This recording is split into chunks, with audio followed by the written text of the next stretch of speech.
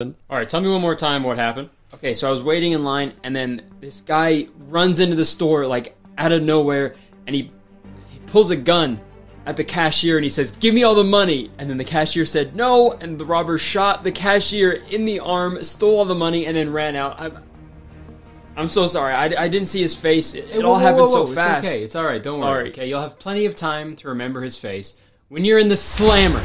Wait, what? Yeah, pretty suspicious. You were the only guy in here when the crime happened. What are you talking about? That means you were in on it. And so was the cashier. why would the cashier be in on it? He got shot. This goes all the way to the top, doesn't it? I wouldn't be surprised if the cops were in on it too, crooked bastards. Put my hands behind my back. I'm going downtown. I'm a dirty little cop. Nasty, naughty, slutty little cop, too. You're gonna spank me or what? Yeah.